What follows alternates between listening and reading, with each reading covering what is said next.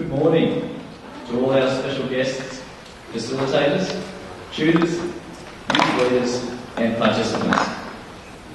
My name is Tim Mann and I was a participant from AFO 2010 from Australia. And it is so great to be back in Okinawa for AYDPO 2015. Today I will be sharing with you my experience and the impact AYDPO has had on my life and how you can make the most out of this truly amazing experience now and in the future. AYDPO, AYDPO changed me as a person and I will share with you how. Firstly, AYDPO taught me, as it will teach all of you, the need to be mindful of environmental problems and for nations to work together to solve these problems that affect us all. You are all the next generation of leaders and innovators and you need to be part of this solution. The second major goal of AYDPO is for you all to become close friends to build stronger connections between Asian countries. For me, I had never been exposed to other cultures before, so AYDPO opened my eyes and ignited my passion to travel. And finally, AYDPO inspired me to work hard and to be my best to help make the world a better place. My first message to all our participants is success leads to more success. AYDPO for me was my first big opportunity and everything after has been sort of a ripple since. AYDPO helped me find direction in where I wanted to take my study and my career. It was here I decided I wanted to be a research scientist. So, after AYDPO, I finished, I started working much harder to achieve this goal. After finishing high school, I was accepted into the University of Western Sydney to study advanced science, majoring in climate change. Also, because of my grades and my AYDPO experience, I was granted the Vice Chancellor's Leadership Scholarship and was able to be a part of unique opportunities.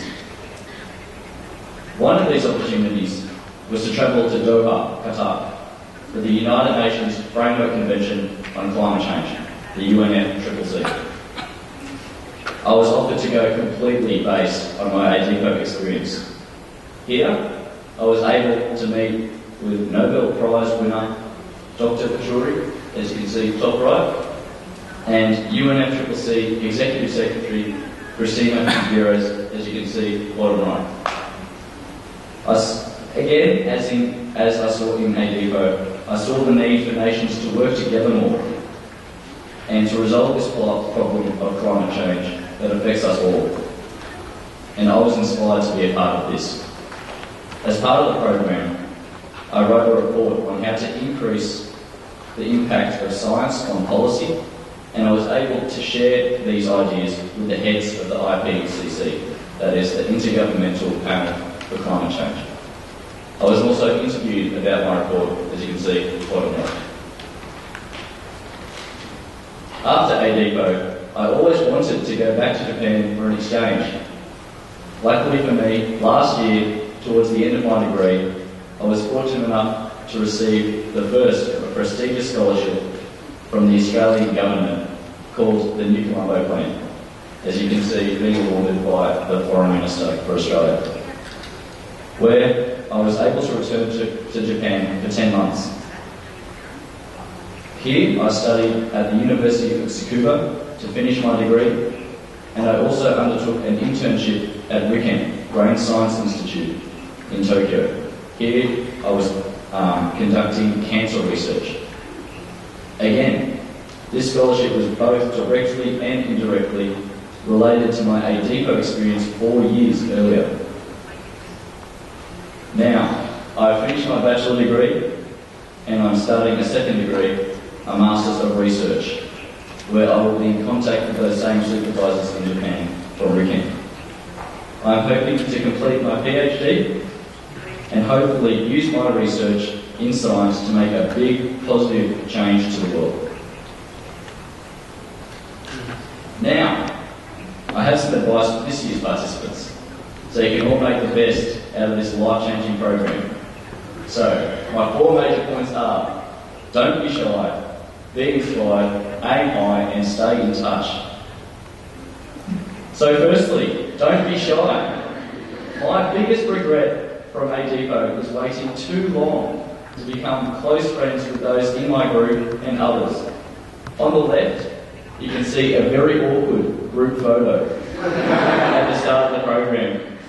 And on the right, you can see me crying at the end of the program because I didn't want to go home. Don't worry, you'll all be crying too. AYDPO is an amazing experience, but it will go very quickly. Even if it is difficult to use English, try your hardest to talk with each other. Be friendly and encourage others to, to make conversation. By the end of this program, these people will be some of your best friends alive. So make more memories and start being close now. AYDPO is an amazing experience, but don't let the journey end there. Aim high. Use this program to find what you are passionate about and chase your dream. You don't all need to be environmental scientists like myself to follow the AYDPO message of working towards a sustainable, brighter future for the Asian region and the world. You are the next generation of leaders. Be your best and make a difference. Thirdly, this program will have lectures from world experts, so be inspired, be enthusiastic, and ask questions to make sure you understand.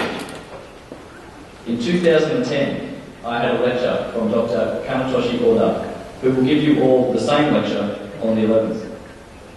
Was about cheap purification of water using an extract from a traditional Japanese food called natto. I was completely amazed by this, and last year, as part of a university project in Australia, I attempted the same thing.